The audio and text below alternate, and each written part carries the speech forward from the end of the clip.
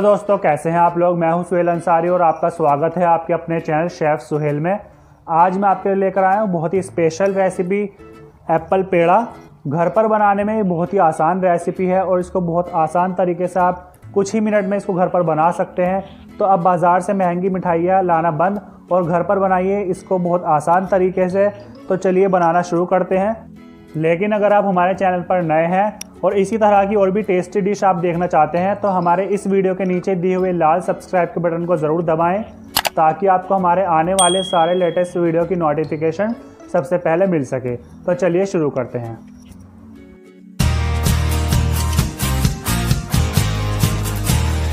बनाने वाले हैं एप्पल पेड़ा की एक बेहतरीन मिठाई, जिसके लिए हमने यहाँ पर एक कढ़ाई ली है। उसमें हम 50 ग्राम चीनी ऐड कर देते हैं।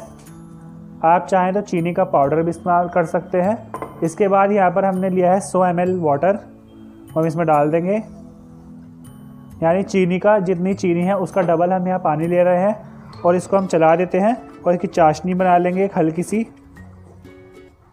तो यहाँ पर हमारी चीनी अच्छी तरह से मेल्ट हो चुकी है। इसके बाद इसमें डाल देंगे हम आधी चम्मच इलायची पाउडर हमने यहाँ पर लिया है। हरी इलायची का पाउडर वो इसमें डाल देंगे। और इसके बाद इसमें हम थोड़ा सा केसर भी ऐड कर देते हैं। केसर का कलर काफ़ी अच्छा आता है, इसलिए हम केसर यहाँ पर ऐड कर रहे हैं। ये ऑप्शनल है, आप चाहें तो केसर को स्किप भी कर सकते हैं, आप इसको ना डालें। और थोड़ी सी चाशनी को हम यहाँ पर और बना लेते हैं थोड़ा सा तो देखिए, हमारी चाशनी तैयार है, और अब हम फ्लेम को बिल्कुल हल्का कर देंगे। इसके बाद इसमें डाल देंगे हम यहाँ पर। यहाँ पर हमने 100 ग्राम मिल्क पाउडर लिया है। थोड़ा थोड़ा इसमें ऐड करते जाएँगे और इसको कंटिन्यू चलाते रहेंगे हम। थोड़ा सा इसको ऐड करेंगे, फिर इसको कंटिन्यू चलाते रहेंगे। इससे क्या होगा कि हमारे जो मिल्क पाउडर में लम नहीं पड़ेंगे, फिर थोड़ा सा इसमें ऐड करेंगे, फिर इसको चलाते रहेंगे। फ्लेम बिल्कुल हल्की करनी है यहाँ पर, याद रखिए।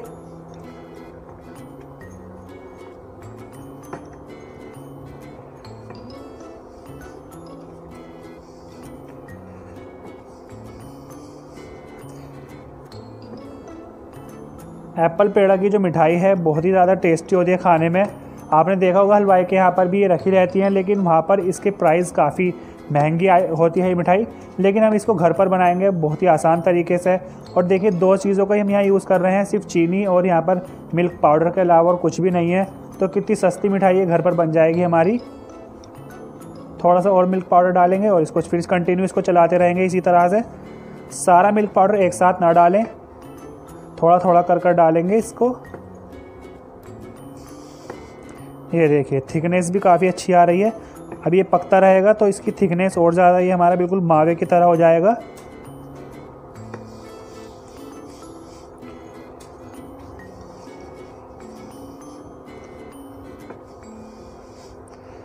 इसमें क्या है, आपको रेशो का इस्तेमाल करना है, रेशो का ध्यान रखना है कि अनुपात क्या है इसका।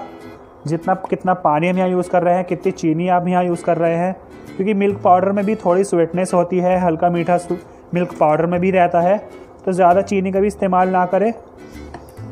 और इस तरह से सारा मिल्क पाउडर डाल देंगे इसमें। और इसको हम हल्की फ्लेम पर इसको इसी तरह से पकाते रहेंगे अब।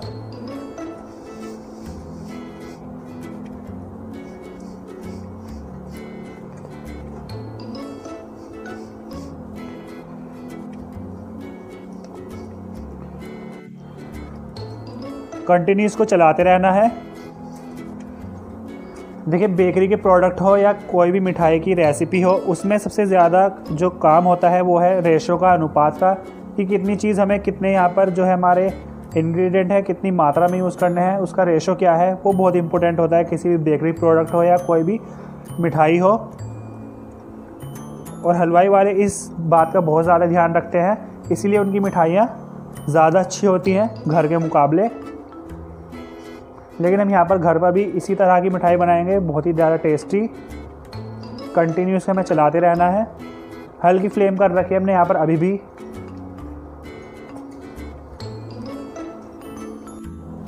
तो देखिए, हमारा चिपकने लगा है कढ़ाई पर। आप चाहें तो इस स्टेज पर आप इसमें बटर भी डाल सकते हैं या आप इसमें देसी घी भी डाल सकते हैं।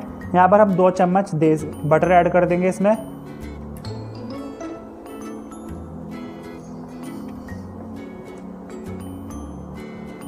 अभी ये हमारा कढ़ाई से अलग होने लगेगा हमारा।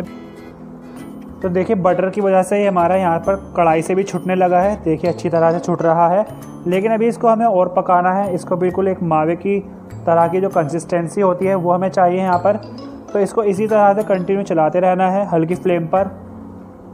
यही बस इसकी जो है, यही इसका काम है कि इसको हल्के हल्के चलाते रहिए। इसी में थोड़ी सी मेहनत है, लेकिन फल भी फिर बहुत अच्छा मिलेगा हमें यहाँ पर। तो देखिए, हमारा बैटर अच्छी तरह से तैयार है। अब इसको हम निकाल देते हैं अलग। तो हमने यहाँ पर अपने बैटर को एक बाउल में निकाल लिया है। इसके बाद इसको हम ठंडा करेंगे। कुछ देर के लिए इसको ठंडा करना है। पूरी तरह से इसको ठंडा नहीं करेंगे हम यहाँ पर।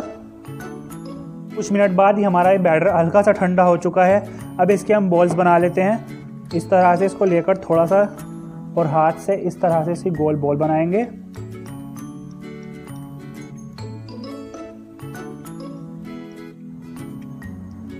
तो देखिए, गोल इसको करने के बाद इसमें बीच में इस तरह से एक उंगली पुश कर देंगे और बीच में इसके लग देंगे हम यहाँ पर लौंग तो देखिए, इस तरह से ये एप्पल बन गया। इसी तरह से हमने बाकी बचे हुए सारे एप्पल्स को बना लेते हैं।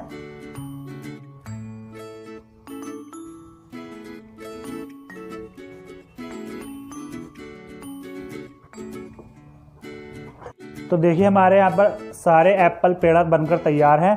अब इस पर हम फ़ूड कलर करेंगे। तो फ़ूड कलर करने के लिए इस तरह से एप्पल को लेंगे हम यहाँ पर। और इस तरह से इसको कलर करेंगे हम यहाँ पर। जो बच्चों के ब्रश होते हैं, पेंटिंग वाले, उसी का इस्तेमाल हम यहाँ कर रहे हैं। इस तरह से। तो देखिए कलर करने के बाद हमारा एप्पल पेड़ा यहाँ पर बिल्कुल एप्पल जैसा खूबसूरत लग रहा है। इसी तरह से मैंने बाकी बचे हुए सारे एप्पल पेड़ा को तैयार कर लेते हैं। तो देखिए, हमने यहाँ पर अपने सारे एप्पल पेड़े पर कलर कर दिया है फ़ूड कलर इसके बाद हम यहाँ पर पिस्ता ऐड कर देते हैं इसके ऊपर, जो ये देखने में हमारा पत्ते की तरह लगेगा। इस तरह से इसको रख देंगे हम यहाँ पर। सब पर हम यहाँ पर पिस्ता रख देंगे। तो देखिए, हमने अपने सारे एप्पल पेड़ पर पिस्ता भी लगा दिया है। तो यहाँ पर हमारे एप्पल पेड़ा बिल्कुल बनकर तैयार हो चुके हैं। है ना एकदम कमाल की डिश। कितनी आसान तरीके से इसको हमने बना लिया है घर पर और सिर्फ़ दो ही इसमें हमारे सामान लगे हैं। तो इसी तरह से आप इसको घर पर एक बार ज़रूर ट्राई कीजिए। इसको बनाइए ज़रूर एक बार घर पर। शादी हो या कोई भी फेस्टिवल सीज़न हो तो इसको आप घर पर एक बार ज़रूर ट्राई कीजिए। बहुत ही ज़्यादा टेस्टी रेसिपी है ये।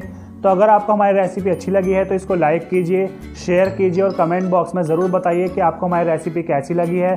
तो तब तक के लिए मैं आपसे अलविदा लेता हूँ और जल्दी लौटूँगा एक नए वीडियो के साथ। शुक्रिया।